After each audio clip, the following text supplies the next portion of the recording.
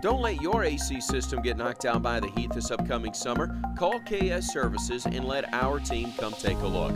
We repair and install all makes and models. We even offer a free no hassle quote and second opinion, so give us a call today. With our flexible financing, you can literally pick your payment.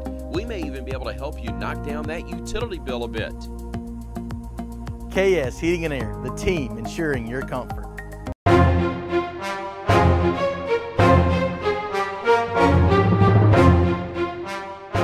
This is your Weather Xtreme video for Sunday, August the 12th. I'm meteorologist Brian Peters.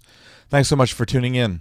Our satellite image this morning shows a good deal of clouds across the Tennessee River Valley, as well as in a large area across the lower Mississippi River Valley to our west. And we also have fog once again. Uh, the surface uh, pattern, uh, surface map, still features a rather convoluted pattern with a couple of different uh, frontal boundaries.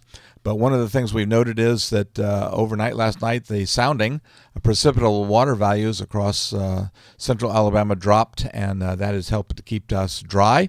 And uh, the reason they're dropping partially is because we have this northerly flow bringing some drier air from the uh, areas uh, across the western Great Lakes down into the southeastern United States. The temperatures across the area this morning generally in the lower 70s, but uh, do note across the east central and northeast part that they're in the um, primarily the upper half of the of the 60s. And again, we have some patchy f- uh, fog, no fog advisories. The watch warning map is somewhat clear. We still have a good deal of fog up uh, over the western Great Lakes there, um, nearly all of the uh, state of uh, Minnesota. And then we have uh, high fire danger as well as heat indices and heat warnings over the uh, area uh, there across parts of Idaho, Montana, and the Dakotas, and a little bit of dense fog in California. QPF uh, looks like we're going to see a little bit of an uptick of showers probably by the end of the week. That may mean a little bit more in the way of shower activity and rainfall amounts generally around a half inch, but once again, quite variable due to the fact that they're showers. The HPC guys have a moderate risk, uh, surrounded by a slight risk for uh, heavy rain over a good portion of central Texas for day one. And then the SPC has a couple of marginal risks, one over Arizona and one over the mid Atlantic states on day one. Days uh, two and three don't feature any uh, outlook areas. And the tropics, uh, still quiet relatively. Uh, the area in the South Atlantic has actually um, decreased in intensity and in, in its presentation, while we have over the North Atlantic an area that has uh, developed a little bit, and it's expected to meander and may develop over the next several days. Eastern Pacific, the Eastern North Pacific, is uh, still uh, a little bit busy. We have uh, the number two area there, that's the remnants of Kristy, and then we have another area uh, of large uh, disturbed area off the southern coast of Mexico.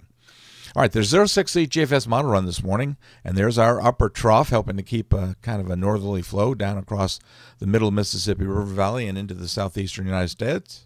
And that uh, keeps us probably more or less uh, dry. Can't rule out the possibility of an isolated shower, and uh, you can see that precipitable water values are definitely down. Um, they're down across about the northern third of the state, so I expect uh, more showers to be across uh, the uh, southern uh, third or southern half of the state. On Monday, our uh, closed low over the uh, eastern Great Lakes and over uh, western Pennsylvania begins to move out a little bit, but that keeps us in that flow pattern. Uh, and the result is that we see actually some drier, really much drier air coming into the Tennessee River Valley. That pushes once again the uh, main area of showers probably to our south, but once again can't rule out the possibility in our area. We come under a little bit of a ridge uh, on Tuesday, but the GFS is also suggesting that precipitable water values will surge to around two inches, and that should mean uh, that we'll see an uptick in showers on Tuesday, uh, becoming a little more scattered to numerous. Wednesday, that trough has moved off and, and opened up, and uh, the ridge has moved off. We're now beginning to come under the influence of a little bit of a trough over Missouri. And once again, precipitable waters uh, takes a nosedive for a short term here. So Wednesday, we'll probably go back to isolated showers as a possibility. Thursday, uh, we see that the next trough uh, in line coming in across Iowa, uh, and uh, that will be producing a little surface low uh, over Illinois and Indiana, and a, a, bit of a front down into northeast Texas.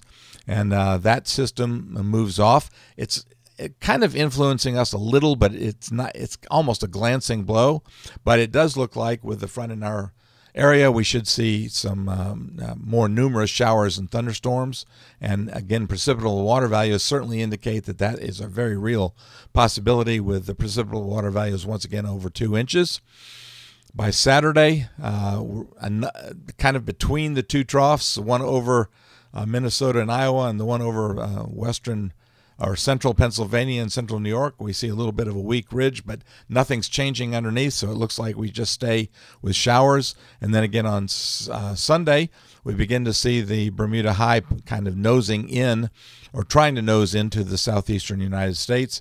And that just keeps us pretty much in pre- high precipitable water values and keeps us in showers. Looking out into voodoo country, and the, the Bermuda High is um, much stronger on this run of the GFS. You can see it nosing in around the 21st. Uh, it becomes firmly established by the 23rd. That looks pretty warm over the southeastern United States, stays that way through the 24th, uh, and then we begin to see some weakening to it around the 26th.